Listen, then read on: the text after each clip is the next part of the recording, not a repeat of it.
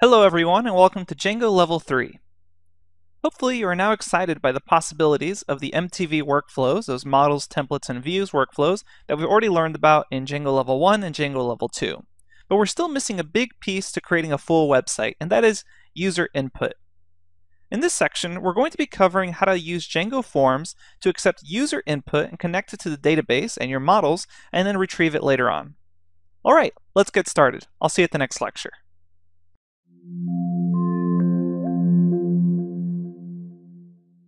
Hello everyone and welcome to the Django Basic Forms lecture for Django Level 3. In this lecture what we're going to be doing is conceptually walking through the process of creating a form with Django. So we won't actually do any coding, you can just sit back, relax, and watch this lecture almost like a game plan for the next lecture, where we're going to be coding through a lot of the topics we discuss here. Alright, we've covered forms when discussing HTML, so you might be wondering why bother with Django forms? What extra features do they bring to the table? Well, Django forms have lots of advantages, and here are three distinct ones. The first one is that they can quickly generate HTML form widgets. Those are things such as your inputs, where you have to specify the input will be an email type or a text type, text area type, etc., checkboxes. Forms with Django allow you to just generate those quickly, like with template tagging. Another advantage is that you can validate data and process it into a Python data structure so you can quickly use it in the backend and you can also make your own custom validation rules. And then a third point is that you can create form versions of our models, and then quickly update models from forms, and we'll talk about that in a future lecture. Okay, so let's actually walk through the steps you would have to take in order to create a form on your website from your web application. And the very first thing you need to do is actually create a forms.py file inside your application. Just like we previously created a urls.py file inside the application, we have to create a forms.py file because it doesn't come standard. After that, we call Django's built-in forms classes, and this looks very similar to creating a model of Django. Let's see an example of this. So an example of what would be inside your forms.py file inside of your application would be something like this. You say from Django import forms, and then you have a class form name, forms.form, where every input is essentially a class object attribute. And you should notice that this looks a lot like creating a model with Django. So that's really good because you can have that similar feel across various aspects of Django. So you don't need to relearn a completely different paradigm for creating a form. It feels and looks like a model. Again, looks similar to a model. And now that we have the form created inside the application's forms.py file, we need to show it using a view. So inside your views.py file of your application, we need to import the forms. And there's two ways to do this. One is you can say from dot import forms, and dot just means look at the current directory. Or you can do what we've been doing in the past and actually explicitly saying from forms import and then that actual form name. So if we go back, we call the class form name. So if you were inside of your views.py file, you would say from that forms.py file you just created import that class object, form name. And again, that dot just indicates to import from the same directory as the current .py file. Either one of these methods is okay. Once you've imported the form, you can create a new view for it. And it looks really similar to when you were creating a view and calling a model, except this time you're actually calling a form. So you say your function def, form name view, whatever you want that actual view to be called. It takes in a request, you create a temporary object called form equals forms dot and then whatever your class is. So again, that's the forms.py file, the class from it, set that equal to a variable, and then return render, pass in request, pass in the name of the HTML file it's going to hold that form, and then you pass in the context dictionary, where you have a, some key bringing back that form from form name. Again, very similar feel to how we were working with models in our views.py file. And then all you have to do is add the view to the app's URLs, either directly or with the include function. If you do it directly, it just looks something like this. You'll say from your application, import views, and then somewhere inside your URL patterns file, you'll say the URL function, pass in the actual extension of your URL that you want the form to be on, views dot whatever the view is called. So in this case, we called it form name view, and then you give it a name, such as form name. Again, I'm using really generic terms here, so you can later replace them with your own names. All right, so we can then create the templates folder along with the HTML file that will hold the actual template tagging for the form. And remember to update the settings.py file to reflect the new template directory variable. We did that in Django Level 1, so you can review it, or you can watch the next lecture, where we'll go and start the process from scratch, so you can remember how to actually fix that in your settings.py file. Okay, then you should also remember that your views should reflect subdirectories inside templates. And again, we'll talk about that when we walk through it in the next lecture. And once you've done that, everything is set up for us to go into the form name.html file, or whatever HTML file is going to house the actual form itself, and that's going to be usually placed inside your templates folder, and then the subdirectory of your application folder, and add in the actual template tagging that will create the Django form. So just like we injected with template tagging stuff from the model, we can quickly inject the actual form. So there are several ways you can inject the form using template tagging. You can just pass in the key from the context dictionary. So remember the key from the context dictionary we had was just form. So you would just have these set of curly brackets and pass in form. You usually won't see it so plainly, but this is technically all you have to do. And before we continue, let's have a quick side discussion about three topics, HTTP, GET, and POST, since we're going to be using those to connect our form to our actual backend. HTTP stands for Hypertext Transfer Protocol, and it is designed to enable communication between a client and a server. The client submits a request, and then the server responds. The most commonly used methods for this request response protocol are GET and POST. GET requests data from a resource, and then POST submits data to be processed to a specific resource. Again, pretty simple idea. A request and then a response. So those are the basics that we need to know for now, but you can check out the w3schools.com page on get slash post for a lot more details, like what remains in browser history, whether using get or post, and what can be cached for future use. It's a really simple concept, so you can just check out that page, but basically, you just need to know that you're using a sort of request response protocol when working with forms. And once you've put in that forms template tag, you should be able to see a very basic and honestly ugly looking form on that page. However, you won't actually have an HTML form tag there. So let's look at what a more completed form HTML page would look like. So on your form page.html, realistically, you're going to have something that looks like this. So we've had some added bootstrap class styling calls, and that's the div class container. And we're also calling the form as underscore p, which uses a paragraph. And that's going to allow you to have a nicer layout of your actual form. It's going to return it within paragraph tags. That way, they're actually lined up from top to bottom instead of from left to right. If you just use form by itself inside those two sets of curly brackets, it's going to go from left to right, and you're not going to have a form looking form. That means top down instead of that left to right. And that gives you a nice format to work with using those paragraph tags, which are automatically put there with the as underscore p. And you can also check the Django docs for other methods. You can request a form as a table, for instance, and work with it that way. And you also notice that I added the CSRF underscore token tag. So this is actually the first time we've encountered thinking about site security measures. That little CSRF tag token that if we go back, it's right underneath the actual form template tagging. That is a what is known as a cross-site request forgery token, and that secures the HTTP post action that is initiated on the subsequent submission of a form. So when you click submit, you have this cross-site request forgery token that helps protect the user or your website from getting false data or from a user accidentally sending that data somewhere else. So the Django framework actually requires that CSRF token to be present. If it's not there, your form may just not work. So that means Django security is actually built into the fact that it won't really work unless you provide that token. So you'll get into the habit of just remembering to provide that token whenever you're working with forms. And it generally works by using what's known as a hidden input, which automatically uses some random code and checks that it matches the user's local site page. We don't know we don't need to know uh, a whole lot about how that random code is generated, but basically just know you always need to add in, if we go back two slides, you always need to add in that CSRF token to make sure your form works correctly and that it's secure. Okay, so again, just need to remember to put that template tag there. You don't need to worry about the background. Now that we can show the form, let's discuss how to actually handle the form in a view.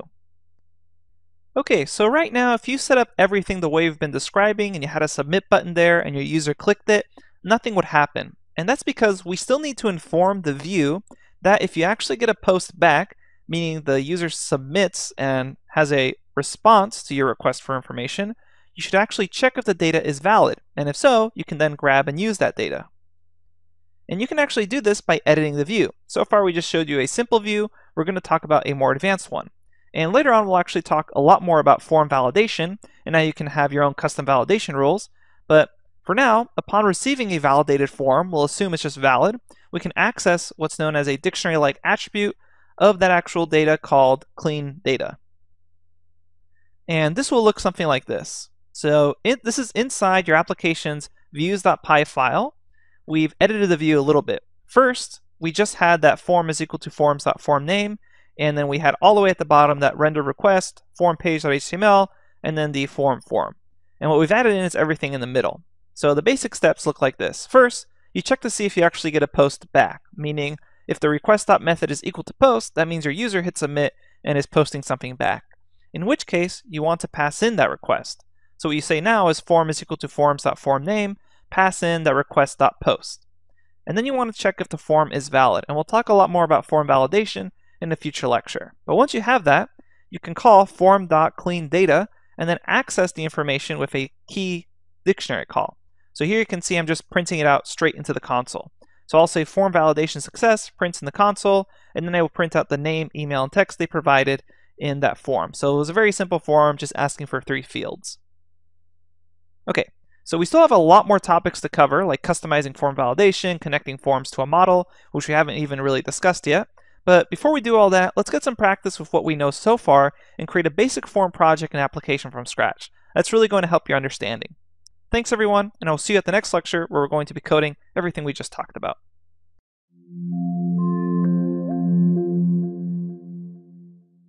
Hello everyone, and welcome to the Form Basics Code Along lecture. In this lecture, we'll just be coding through all the concepts we previously discussed in the last lecture. Let's go to the editor and get started. Okay, here I am at the editor. The first thing I'm going to do is cd into a new folder I just made called Django Level 3. And then there, I'm going to actually create the project. So I will call my Django dash admin command line tool. We'll say start the project, and we can just call this project whatever we want. I'll call it something like basic forms. And this should start off the project, and after that, we can start off the application. So I will cd into the top level basic forms, and then call Django admin start app to start our application, and we can call this just basic app. Choosing simple names here, and now if I expand this, I see the folders and files that I was looking for. And let's actually create our templates folder. That goes under the top level project folder. Create a new folder, call it templates. And then inside of this, I want to create another folder that matches the basic app name. And this is where the application's HTML templates are going to go. And then we'll create a new file here, call it index.html, and we'll create another file.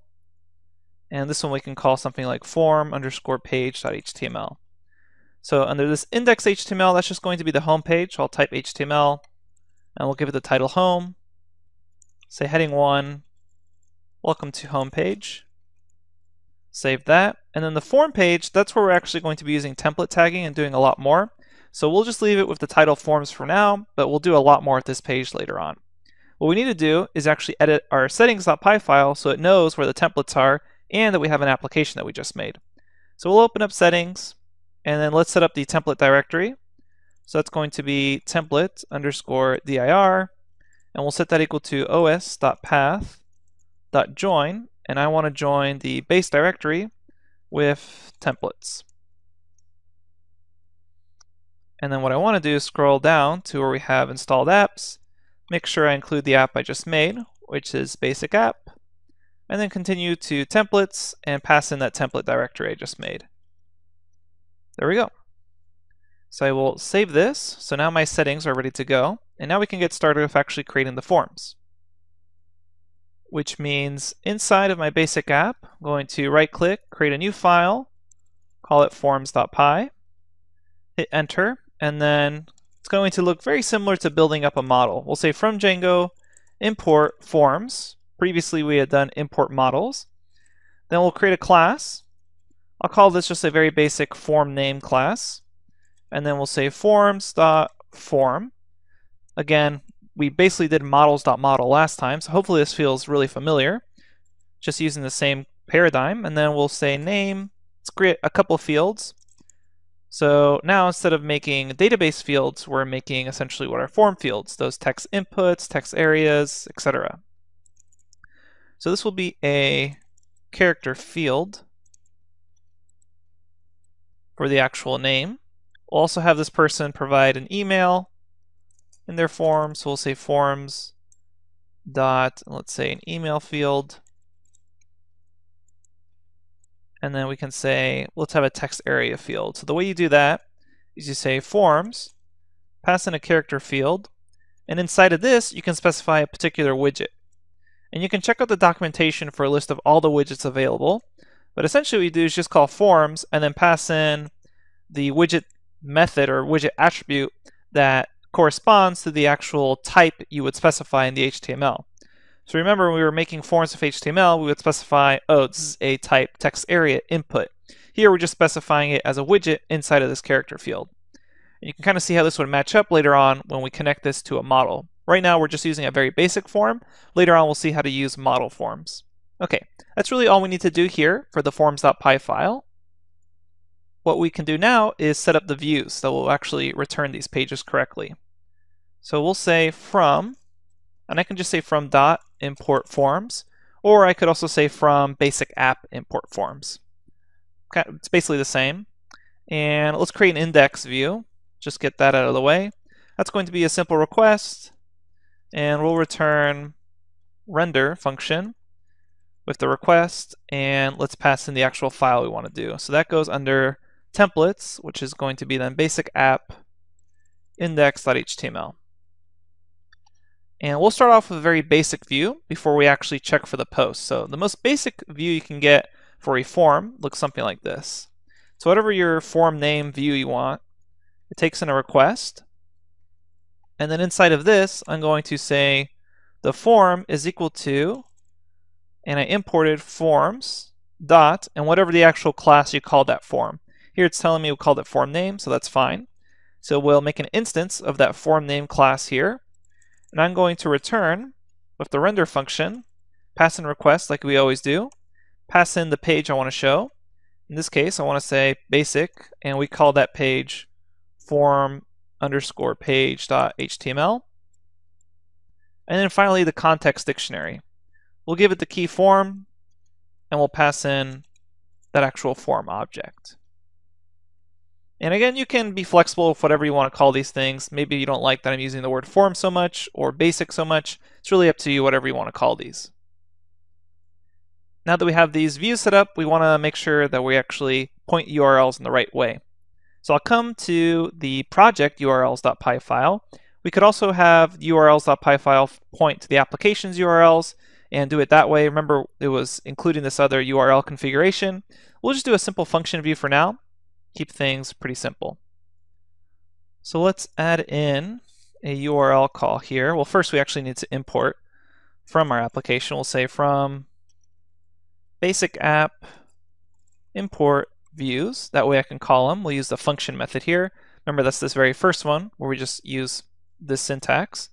So come down and then say URL, and I'm going to specify for the home page, that's just caret symbol dollar sign using regular expressions, and then say views.index, and we'll give it the name index. And then I like always having the first two be the home page and then the admin site, and then everything else being your actual pages. So we'll say regular expression, caret symbol, and let's have the extension for this be something like form page. It's really up to you, whatever you want to call it this basically just says, okay, if you go to your URL slash form page and anything after that, it's going to take you to the views dot and then the view. In this case, we called it form underscore name underscore view. And we'll give it the name form underscore name. All right, so that should be all we need for the URL patterns. And now let's actually go with the templates and show you how to use the template tagging to actually inject that form. Our index page looks pretty simple. We'll add one more thing that says go to slash form page to fill out the form. Let's double check that that was the actual URL I gave, slash form page. Yes, it was. And then on the form page, we're going to, let's put this all in a div that we can use later. I'll give it the container class. I haven't imported Bootstrap yet, but that's okay. We'll show that when we kind of want to improve the site, but let's keep everything super basic. And I'm going to just say form here. Again, I'm not even checking if there is a form, I'm just saying form.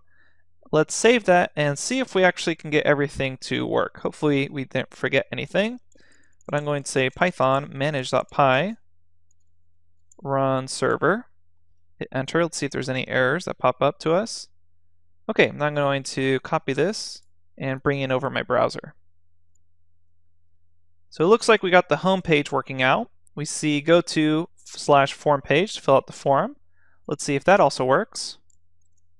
Go to form page, and here we can see the actual form. We have name, email, and text. It looks super ugly, um, and we see if I type something in, there's not even a submit button here. So it's pretty uh, bland, but we can see that we're actually starting to get the very basics of a form. Here's that text area widget. Great.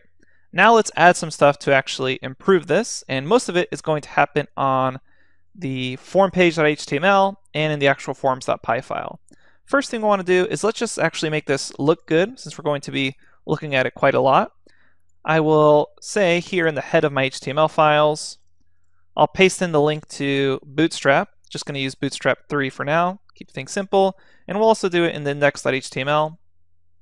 Save that, and let's put all of this inside of a container class, and let's put that inside of a Jumbotron, just to make the home page look a little nicer. We'll grab these two headings, and then put them inside these divs. Save that. And then for the form page, we have to add in uh, quite a bit. So we have that container class, so that works out for us. But notice we actually don't even have any form tags. And those form tags, so the basic form HTML tags, those are not made for you when you call form here. So what you need to do is actually have those provided. That way you can say what you want to do. We'll don't, we won't worry about class or action for now. You can worry about class when you want to style this a little more with Bootstrap. But for now, this div container should be enough. Let's add in a heading here that says fill out the form, save that, and then I'm going to request a form as underscore p. And that's going to request each of those form widgets to be instead of a paragraph tag. That way they don't go from left to right, but instead we get that actual line break and they go from top to bottom. And then we also need inside of these form tags to ask for the input. And also, as a quick note, I have the method right now being post inside of the form. Lowercase or capital, that either way it should work. So we'll capitalize it just so it's really clear there. And I want the input to be type. Let's make it submit. And we don't really have to give it a name for now. We could give it a class if we wanted to look a little nicer. We can say btn and then btn primary, one of those bootstrap classes. And let's give it a value so we actually see something inside the button. And we'll hit save. So now I'm going to grab that URL again, see what it looks like. Bringing that in, obviously the home page looks a lot nicer with that Jumbotron. And then let's go to form page, see what that ends up looking like. And this looks way nicer with the bootstrap. Fill out form, we can see stuff is looking good. But notice if I hit submit, um, well, let's actually fix that email gmail.com. I hit submit and I'm getting an error. CSRF ver verification failed, request aborted. So remember, as I mentioned in the previous lecture, we need to have that tag there in order to have the security that we need to make sure our users are safe from submitting their form or submitting data to some other website. So, as I mentioned, a lot of these forms are going to break if you don't have that tag, which is a good thing. Keeps you a good, safe programmer. So let's add in that token. We'll save it. And you can add it above or below the form. Should work the same. And I'm going to refresh the page. and make sure it's working. And to do this, I'm actually probably going to need to restart the server. So we'll say python manage.py run server, and then let's come back to this again. And now when I re come to the page, and you have to uh, not just refresh, you have to go back to it.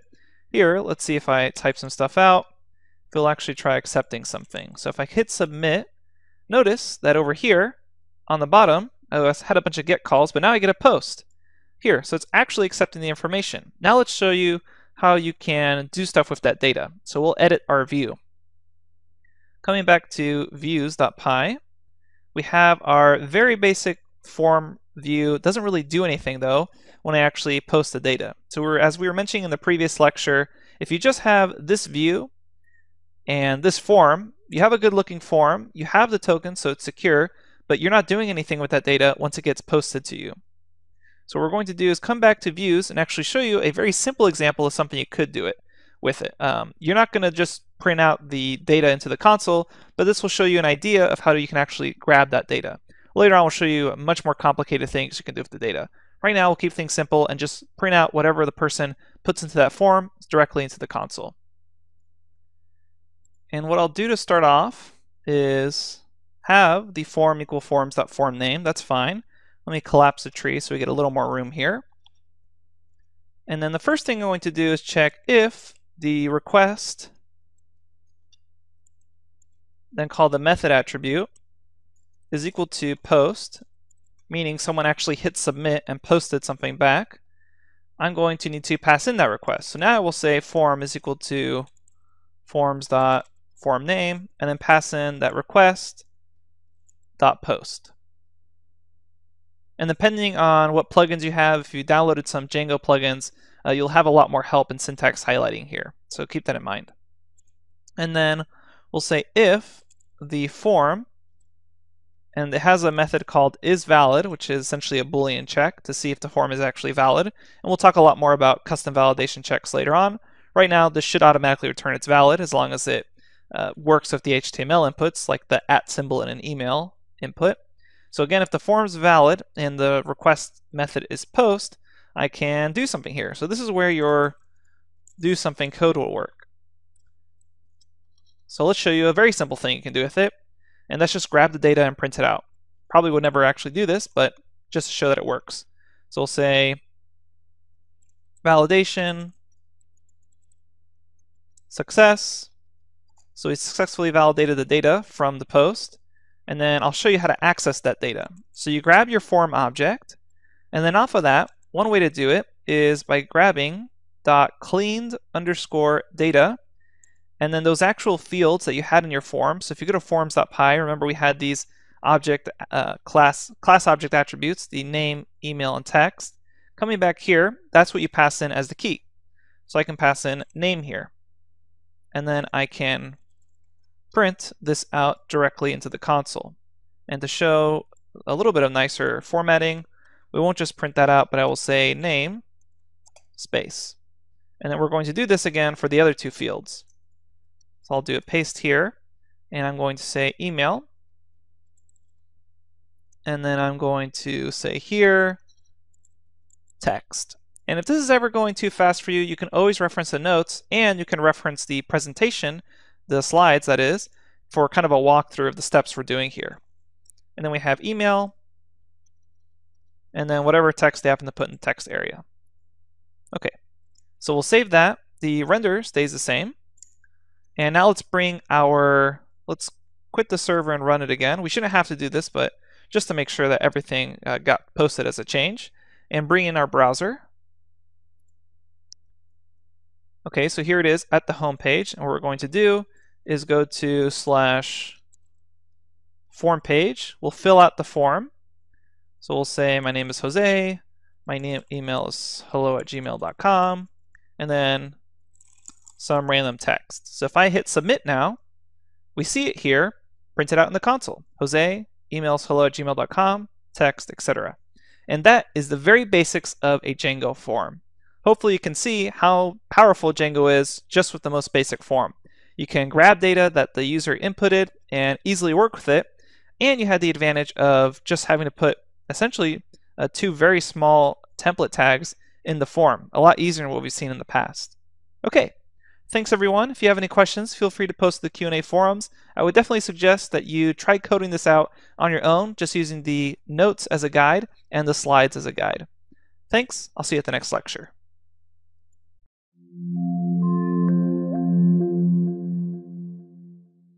Hello everyone, and welcome to the Form Validation lecture. In this lecture, we're going to be discussing hidden fields and how we can use them for custom field validation.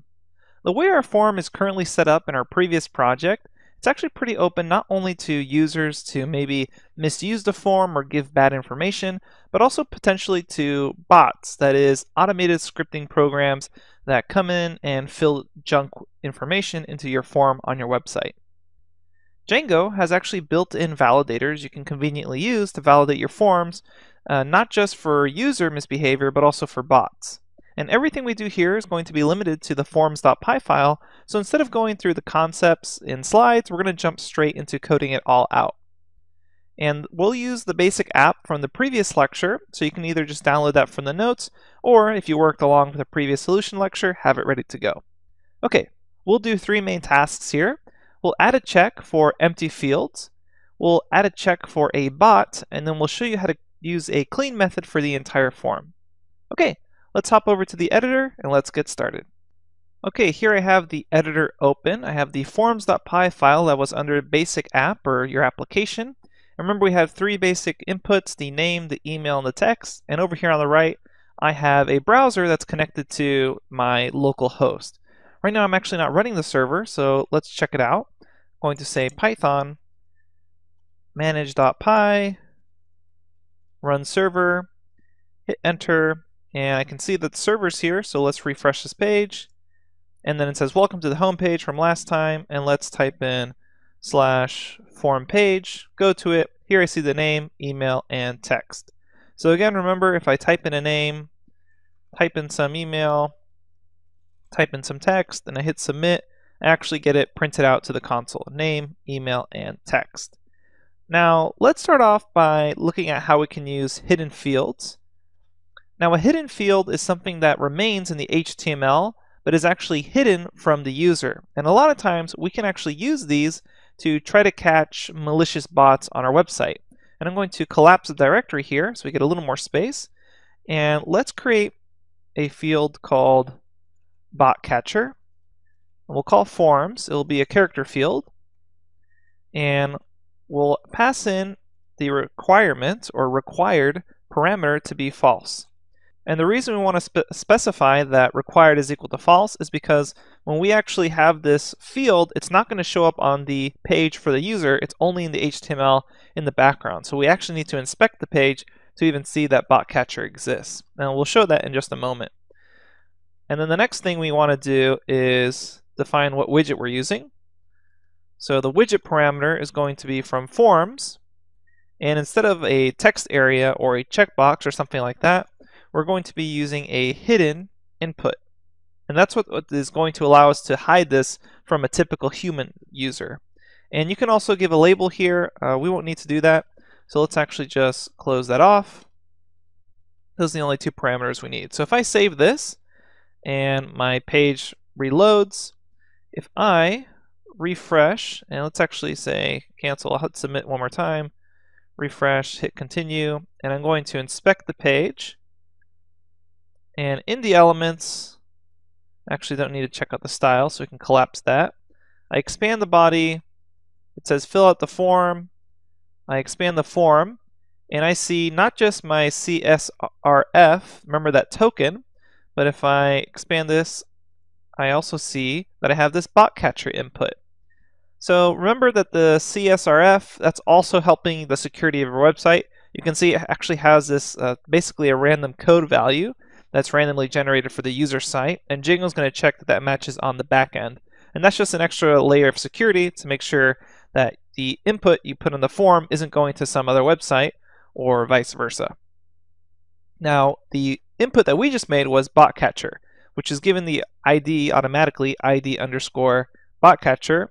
It's given the name bot catcher and the type is hidden. And basically what's going to, going to happen here is if a bot visits your page, they will not look at the actual website. What they're going to try to do is look directly into the HTML. And then they're going to try to automatically fill in value attributes and then submit the form that way. Now, if I am actually acting like a bot, I would, let's say, edit an attribute. Actually, we would add an attribute here. And the bot would come in, add a value, and say, um, hello, friend. Maybe they give you that value. You hit submit, and right now, the way it's working, uh, nothing is really happening here. So if, again, if I add that in, hit submit, you can see my extra characters are being added. So just to prove that one more time, if I type ZZZ, you can see it shows up here. The way we want to actually catch the bot is by validating this particular input. So let's show you how to do that now. So we'll show you first the most basic method of validation, which is using a clean function or a clean method inside of your class form. And then later we'll show you the built-in tools that Django has so you don't have to do this every time. So every time you want to create your own custom validator using this default method, you need to say def, so a method inside this class. Then you use the keyword clean underscore, and then whatever name of the field you're checking. In this case, it's bot catcher, so you can just copy and paste that. So then Django is going to automatically look for methods inside this class that start with clean underscore, and then see if this matches any of the fields there. And remember, this is a field inside of a class, so we use self. And then this is what I'm going, whoops, that should be a colon. Okay, self. And this is what I'm going to do first. I will say bot catcher is equal to self dot, and then I'm going to call the cleaned data and actually grab what botcatcher returned over here from my forms. And then I'm going to check if the length of botcatcher is greater than zero. You could also just say if length of botcatcher, but this might be a little easier to read, which means so if there's any actual length to the value that's returned in bot catcher, then I know some robot came in and scraped the page and filled in the HTML. A human would never actually do that. And then we're going to say raise an error. And there's lots of different errors you can raise, and you won't really have to worry about memorizing any of this because we'll move on to built-in validators. But just to give you an idea, the most basic one you're going to raise is a validation error, which kind of makes sense. And then we have something we can return, which would be printed to the console, and we'll say gotcha bot. So once we raise that error, we'll return bot catcher itself. So we saved that. It's reloaded here since we made a change. And now let's try coming to this again. So go to the home page and then go to the form page. I'm going to fill out the form. So the name, we'll say Mr. Robot. The email, we can say it's Elliot at EvilCorp. And then we'll say hello as a text. And then if you're a bot, what you're going to do is you'll come to this bot catcher, since remember you're actually filling it all in through the HTML. And let's add an attribute here for the value and we'll label it sneaky since it's a sneaky bot trying to ruin your website. We hit submit, and then if we see what happens over here, nothing actually got returned. So we never actually printed anything because we end up raising that validation error. So again, if I hit submit here, I'm not actually ending up returning anything. So again, nothing's being printed out into the console because we're raising that validation error. And if you actually look at the page, the error has been outputted here on the page. It says hidden field bot catcher gotcha bot. So instead of actually printing out this user information, name, email, and text, we ended up actually grabbing that bot. Great. So that's the very basics of how you can use a clean underscore method inside of your form to do your own validation. But now let's show you how you would more realistically use validation once you're building your own websites using Django's built-in validators. Okay, let's continue by moving on to Django's core built-in validators, which will save you a lot of work in the future. So pretty much you'll never really do this clean underscore type of bot catcher validation. Instead, what you're going to end up do, doing is using the Django core. So we'll say from django.core import, and then you're going to import validators. So save that. And then what you're going to be doing is in your actual fields here, you will pass in a validators parameter. So we'll say validators is equal to, and this is where you actually can pass in a list of validators. So what you end up doing is calling validators dot, and then you can check the documentation, but there are a ton of already built-in validators. Things like checking what's the maximum length of the input, uh, how many characters it has, etc. And what we can do is say, use one of the built-in ones. So one of the built-in ones is max length validator. So that's a built-in method off of this validators. And what we can do is then just pass in as a parameter a number here. And typically you'd want whatever the max length is. A lot of times it's going to be zero to check, especially for a bot, right? So basically we replaced all of the work we just did with a simple import call, import validators. And then in all of these fields, you can always pass in a validators parameter. And this can take in a list of validators. So it's not just limited to one, it can pass in more than one. So we can save that. And then what we're going to end up doing is running this again. So we'll come here. And then I'm going to refresh the page. So delete that. Go back to the home page and then come back to form page. Fill out the form. Doesn't really matter what we do. Go x, x at gmail.com. X over here or A, doesn't matter. And then let's go in and do the bot again. So I will add an attribute value is equal to fooled.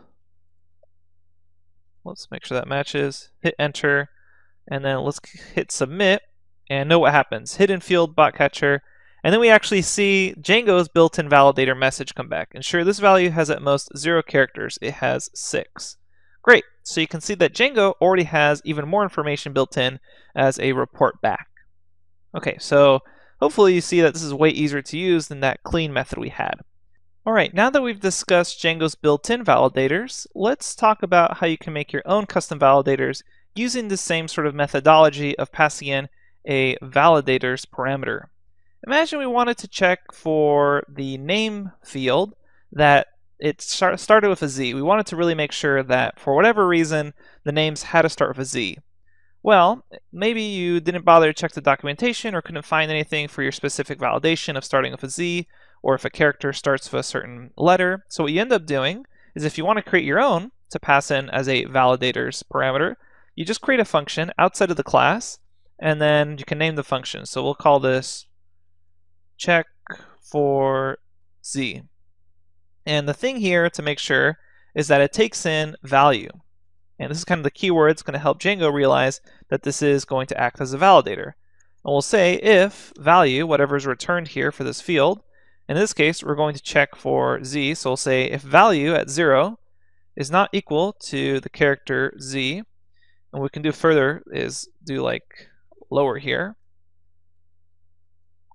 we'll raise an error. So raise forms dot validation error and say something like needs to start with z. And we'll say name just to make it clear. Save that, and then inside this name, what I can end up doing is saying validators is equal to, and pass in a list, and then just packs in my check for z function, which since it takes in value, Django knows it's a validator now. So I will save this, and let's make sure that my run server actually got refreshed. So I will refresh that. Okay, perfect. So now over here, what I'm going to do is say form page, and then let's fill out the form. First, we'll fill it out with just Jose, hi at gmail.com, and then some junk, hit submit, and it says name needs to start with Z. Perfect, so we know our own custom validation is working. Let's make sure it is by passing in just Z here, and then we'll say the same thing, and it took it in just fine, and it printed it out just fine. All right, so that is how you can make your own custom validation function. And this is usually a lot easier of an approach to take than that clean method we discussed earlier. Okay, now let's continue our discussion by talking about cleaning the entire form all at once. So we did see how we could create custom clean methods in our class for particular fields. But maybe sometimes you just want to do one method that cleans the entire field and you don't want to worry about having to do something like an individual validator. So what do you do in that case? Well, let's delete this check for z and I'm going to remove this validator over here. We'll save that. And we can still check for bot catcher, that's fine. Actually, you know, we don't actually need that. Let's say we wanted to check something like a backup email. So a lot of times when you go to a website, you have to fill out your name and then fill out your email and then you have to verify your email. You have to fill it in twice, which makes sense because you don't want to have happen as you log into a page for the very first time or you're signing up that you mistype your email. Otherwise, there's no way you'll ever get a message to that email. So we can call what's a very common field as verify email. And this is something you'll see often. I'm sure if you've used the internet once, you've seen this. And we'll have verify field, and we're just going to give this a label to say something like, well, that should be equal, sorry. And we'll say, um, enter your email again. So let's save that, and let's refresh the page to make sure that actually worked. Hit continue. Okay, perfect. So this field is required. Enter your email again. And you can use formatting in the HTML to make this all look nice. Since I'm asking for a paragraph, everything's kind of getting their own line break, but again, this would all be done with HTML or CSS styling. Right now, what we really care about is how do we clean this entire form at once to actually grab this email, grab this second email, and make sure they actually match? Well, just like we had the special clean method where you would say clean underscore and the name of the field you wanted to check, if you want to clean the entire form, all you have to do is just say clean. And that will indicate to Django that this is just a single clean method for the entire form at once. And what you can do here is call super. And what this is going to allow us to do is grab all the clean data at once. So we'll type a new variable. We'll call it all clean data.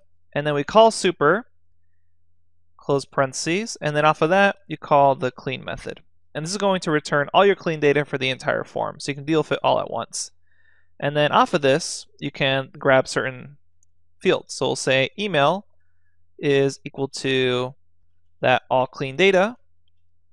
And then say, using bracket notation, because it's basically a dictionary, grab the email field, where this key comes from up here. And then we also want to grab verify email.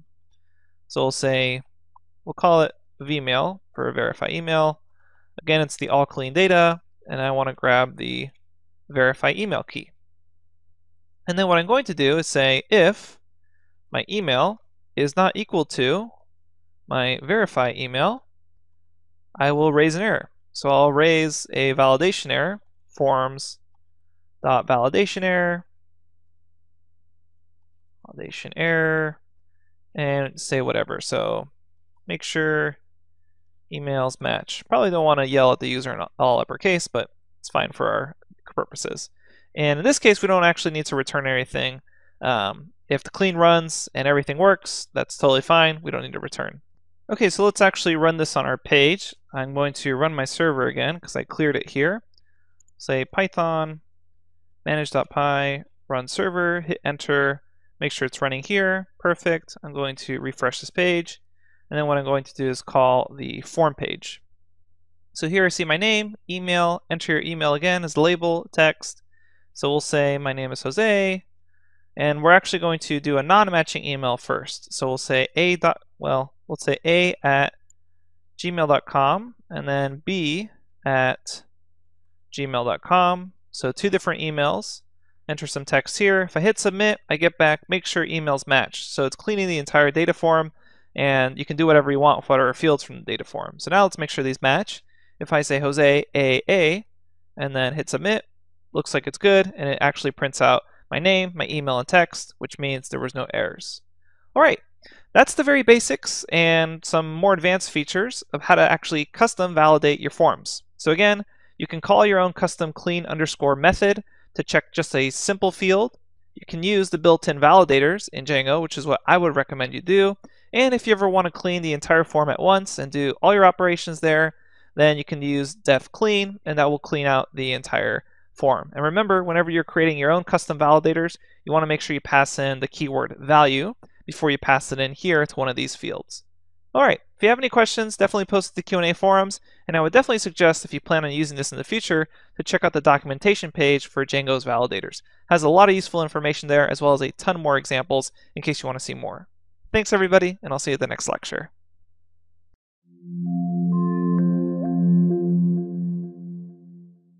Hello everyone and welcome to the Model Forms lecture for Django Level 3. We've seen how we can use Django Forms to grab information from the user and then do something with it on the back end.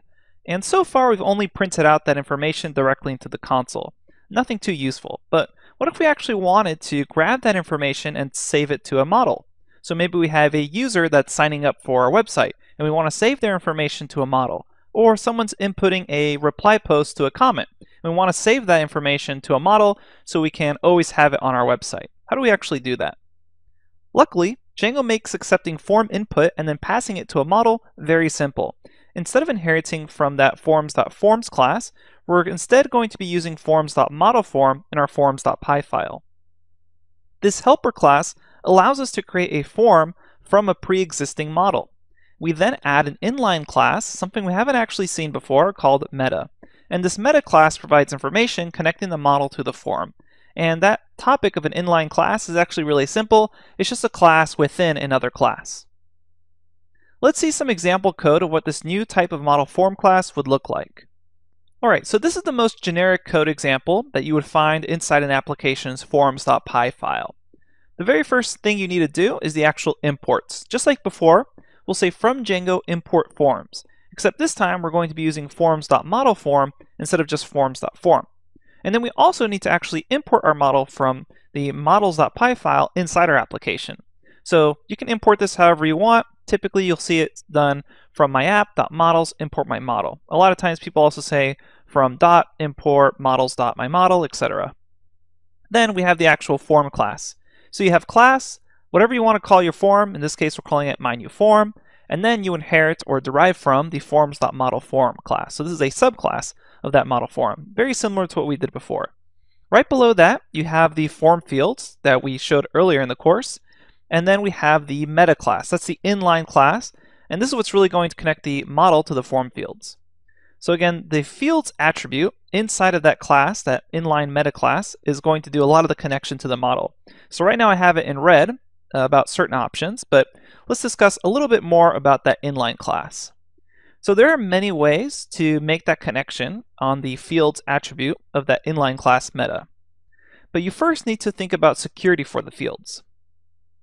And it's also very common to not actually provide any additional field information. So before I mentioned that form fields, like we typically saw, would go right below that myNewForm class, but often, since you're already matching up the form to match up with the model exactly, you don't actually need to specify those fields.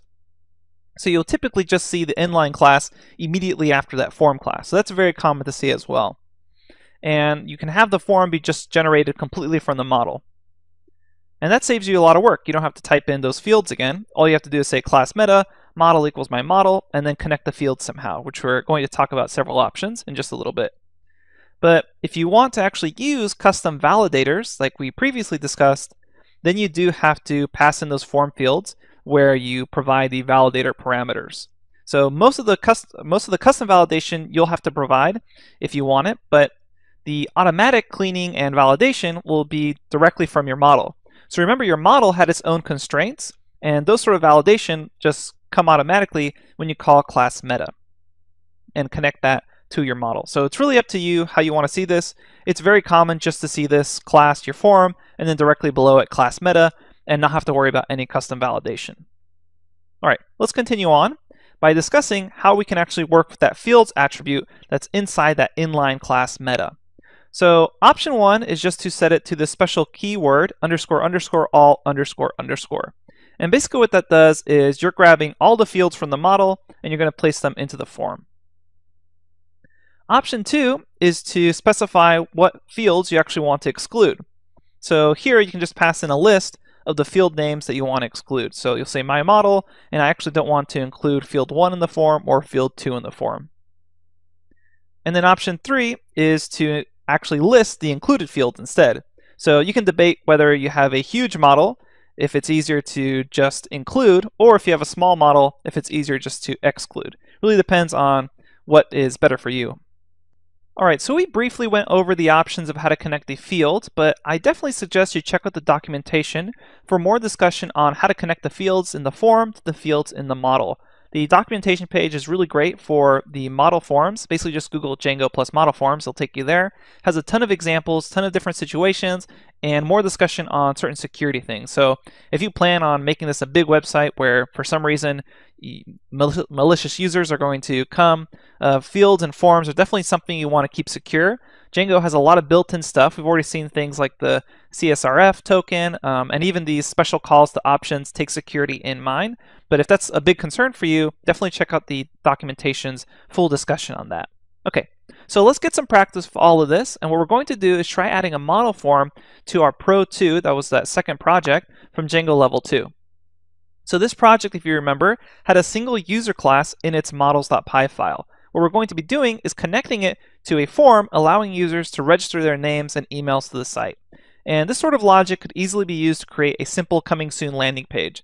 So you've probably seen these single one page websites where you go in, they're working on a project and they say, oh, you know, come back soon, or we'll email you to let you know whenever the project launches. And it just has uh, enter your name, enter your email address, and submit. And then when you submit, that information goes to a database that they can later access. So this is easily something you could do just based off of the information in this lecture, plus everything we've already learned about. All right, so to get started, make sure you have the Pro2 folder from the Django Level 2 folder in the notes. And to see the completed version of this, check out the Pro2 folder in the Django Level 3 folder. Again, we're going to start with the finished Pro2 folder from Django Level 2, and then work with it. By the end of this lecture, we'll have what's available to you in the notes under Django Level 3 Pro2. So keep that in mind if you want to see kind of a before and after. And let's get started. I'll see you at the next lecture.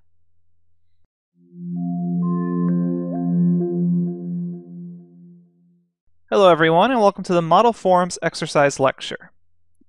In this lecture, we will work with the Pro2 project folder from Django Level 2. So if you still don't have that around, you can just download the notes and grab that Pro2 project folder. Remember from Django Level 2, that final project was to have that user.html file use template tagging to display a list of all the users and their first name, their last name, and the email information. So we had that for loop inside that template tagging, and then we displayed all that information directly from the model. We're going to change this to be a sign-up page, and it's going to be connected to a model form that we previously discussed, so that the user goes to slash users, signs up on the user page, and once they hit submit, that information goes to the model and the user gets taken back to the home page. A great exercise would be to try this on your own first. So optionally, you can attempt these exercise steps before viewing the rest of this lecture as an attempt to try this on your own. And these are the steps you're going to have to follow. You'll need to create a model form in forms.py. You'll have to connect the form in the template.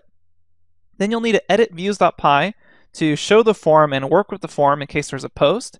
And then you'll figure out how to save the data. That's something we didn't talk about in the previous lecture. So as an exercise, you'll have to look up in the documentation how to save the data. And the way I wrote save here is a really big hint on how to do it off the form. Once you figure that out, then just verify that the model is admin registered. So once you hit submit, you can log in as an administrator and see that the data is actually there inside the model. Okay, so again, I highly encourage you to try it out on your own, and you're going to need to look at the documentation in order to do that successfully.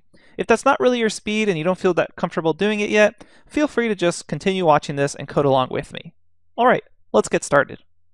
All right, here I am at the editor, and right now I have my Pro2 project inside a folder called Django Level 3, and it has the app2, that was the second application we made.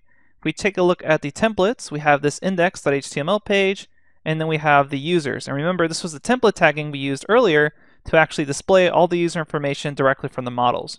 And we're going to be replacing all of this with an actual form that connects directly to the models. So uh, as a quick note, depending on when you actually downloaded this, you may not have the models registered on your admin.py file. So make sure under app2 admin.py for this pro2 that you have these two lines here, app2.model import user and admin.site register user. Remember, we need to register our models in order to see them when we log in as an administrator. All right, let's start off with the front end actually. And then we'll come back to it later on as well. But here on the index page, we'll say welcome, go to users to, and we'll say sign up. And I'm actually going to add in uh, Bootstrap so this looks a little nicer. And I already have copied and pasted the link from bootstrap.com or getbootstrap.com, you can do the same. So I'll put that on the index page, and I'll also put it on the users page. And in the next section of the course, we'll actually learn how we can uh, use one single basic template and then keep inheriting from the same template. So you don't have to keep writing so much HTML. But for right now, we'll have the same link in both of these files. And on this users page, this h1 is going to say, please sign up here. And I'm going to clear the rest of this since we won't be using it for now, everything else that's in the body. And just to make this look a little nicer, we'll put it inside of a container class, and then we'll grab this and put that in here. And then on the index page, that home page, we'll put all of this into a container class as well. And in fact, let's put it all into a Jumbotron just so it looks a little more home pagey. Then grab this stuff, and we'll put it in here. All right, looking good. And we'll come back to users.html and do some additional stuff in here with the actual form later on. But let's come to the forms, excuse me, app2 folder where we need to make a forms.py file. So we'll say new file, forms.py, hit enter, and we should have the forms.py file empty here. Now what we need to do is import forms as we did last time. So we'll say from Django import forms, and then we also need to import our actual models. So we can say from dot, but I prefer actually naming it. So we'll say from app2, even though we're in the app2 directory, don't need to actually say that. I could just say from dot. We'll say from app2.models, import, and then the actual name of the models we intend to use. In this case, it's just user. And now it's time to create that class. And in this case, we will call this something like new user and we'll say forms dot, and then we call model form instead of just normal form. So typically, before we were just using form, but if I actually want this to connect to a model and edit that data, I'll have to use dot model form. And then we also have that inline class, which is going to be this meta class. And if you want to do your own custom validations, then you would define a field here, something like uh, whatever they're actually called, first name equals blah, blah, blah, the forms dot character field, and then eventually you would add in your validator. But right now, we're not going to do any of that. Um, we already covered how to do custom validation, so if you want to do that, that's fine. If you don't, that's also fine. And we'll say class meta, and we'll create the model attribute. This should always be called model, and then you assign it to whatever model this form happens to link to. In this case, it's just one form here, user. If we had another model to import, that would have its own class with its own form model or own model form, I should say. And then we have the fields attribute, and we talked about the fields attribute in the previous lecture and the various ways to handle it. Since we're going to be using all the fields, we'll just use that special keyword underscore underscore all underscore underscore as a string. And as a quick note for this meta, you could either just do meta like this or have the open close parentheses. For Python 3, uh, that doesn't matter. It's basically the same thing. And now that we have that ready to go, let's go to our views.py file and make sure that it's connected to the form properly and that it's going to do something if the user actually hits submit. So we'll come to views.py, and right now we just have our previous users that was returning information from the model. But instead, we're going to be returning information directly from that form. So we'll delete that. Right now, the index view, that's totally fine. We'll keep the same home page, returning index.html. But for users, we're going to do something a little different. The first thing we have to do is actually make sure our form is working, which means we need to import it. So previously we were importing the model direct, uh, directly. We won't be using that since we're not actually grabbing information from the model to post. We're just going to grab stuff from the form. So we'll say from, and in this case, app2 dot, and it's the forms, import, and we're going to import the new user. And just to make it really clear, let's actually call it new user form. That way we don't get confused. So we'll come back to forms.py and let's call this new user form. Save that. And then in views, we'll call this new user form. That's a little clearer to me, just so I don't get anything messed up. And then we're also not using HTTP response anymore. That was one of the most basic things we learned about. So we'll comment that out. So we basically just have the render and new user form. Then we're going to be working with this. And let me grab some space here by collapsing the directory tree and also collapsing the terminal. We'll bring them back in a little bit. But the first thing I want to do is create a object or a variable here called form. and assign it to an instance of that new user form. So create an instance of that new user form inside the users view here. And then we'll say this, if the input request method is equal to post, then we're going to reassign form to be equal to an instance of new user form, except we'll pass in request.form, or excuse me, request.post. And then we'll scroll down, let's get a little more, let's focus on this one view function here. So okay, so basically what we're saying is, right now our form is an instance of that form class we just made. If the request method is equal to post, meaning someone hit submit on that form and is sending information back, we pass in the request.post. And then we check if it's valid or not. And as we discussed before, you can have your own custom validation checks, but we'll just do the automatic ones. So if the form is valid, meaning essentially they didn't mess anything up when hitting the submit button, so an email was an email, etc. Then here's the thing we didn't cover. In order to save the form, you can say form.save as the method. And what you can also do in order to commit it to the database is say commit is equal to true. So we'll save that. So we have if form is valid, form.save commits true. And then after this, what we're going to end up doing is returning and we'll return the index page. So we'll return the index view and then pass in the request.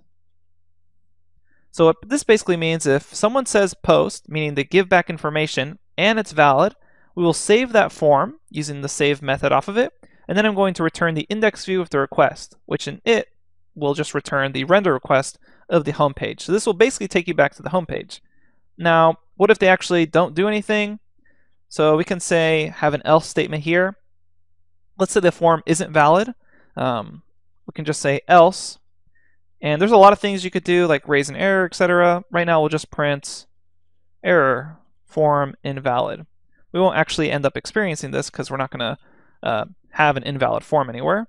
And then outside of all this, we need to actually return something so that it matches the actual page. So we'll say def users, and on the very first level of indentation inside of this view function, I'm going to return, and we'll say render, request, and then pass in wherever our users page is. It's under app2, and let's make sure that the folders matches. So under templates, we see app2, so that's actually capitalized, although as a string, passing it, I don't believe it makes a difference, but we can always just check on that. So app2, remember templates, app2 index.html, this goes to templates, app2, and we send back uh, whatever our page is, and it was called users.html. Then finally, we want to send back that context dictionary that actually contains the form. And it's very common just to give it the key form, and then pass in that form object, which is this guy. All right, so we will save that. Now let's go back to users.html and fix this up so it contains the form. So the first thing we need to do is actually create that form tag. We don't need to really worry about action right now because we're kind of handling that ourselves, not with the HTML. And we don't need to assign it a class. If you want to add more styling to it, you can do that. We definitely need to say method is post though, and either lowercase or uppercase works.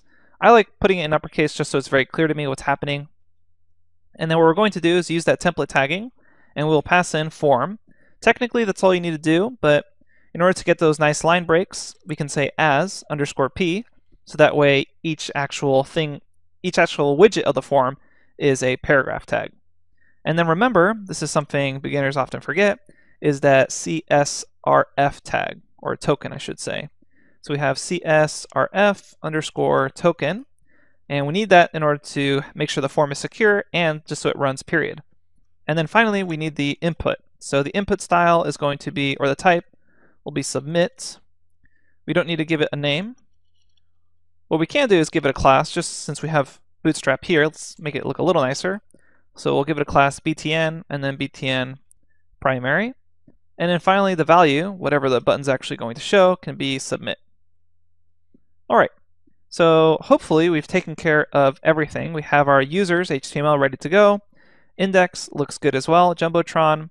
Uh, the URLs are already matched up from the previous iteration of this project. So we have users calling app2.urls and urls.py here is looking good, users.users. And then we have our actual views. This was probably the hardest part out of all this, and it's returning back that dictionary, which we're calling in the users.html over here with form. So let's actually test this out and see if it all worked.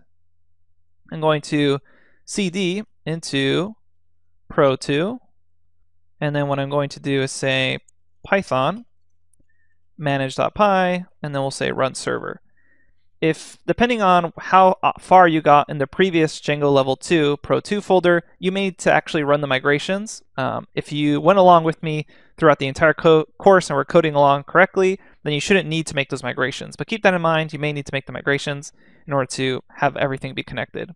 But I should already have everything connected, so let's actually run the server. Let's make sure we don't get an error out. So that's a good sign, no error. Let's copy this Actually, we don't need to copy it because I already have it here on my URL, so I'll just refresh. Okay, so far so good. It says, welcome, go to users to sign up. So let's do that. We'll go to slash users, hit enter, and now we get this please sign up here. Also looking pretty good. Let's make a really obvious first name. So we'll say, I'm new first for the first name. That way when I look into this page as an administrator, I can easily know that I actually worked correctly. Uh, last name, we can say my last name. And then email will say uh, it worked at whatever, yahoo.com. We'll hit submit. And perfect. It took us back to the home page, just like we uh, thought it would. And we can see that it also sent a post. So that's looking pretty uh, good right now. Now let's go to the admin site and make sure it all worked. So we'll go slash admin, and if you don't remember your username or password from Django level 2, feel free to just use python manage.py, create super user. Remember that command, all you have to do is provide your username, an email, and type in your password twice. So hopefully I remember my password. It was just test password, something very simple. And my username was Jose. We'll log in, see if that works. Okay, looks like I did not remember my password. So I don't remember this, so let's actually create a new one. Uh, you probably are in the same boat as me. So we'll say python manage.py, create super user, and then let's give it Jose, email address, hello at gmail.com, doesn't really matter. And then the password, this does matter. We'll say test password, test password, and now let's try this again. So we'll say python manage.py run server. I'm going to refresh my actual admin page.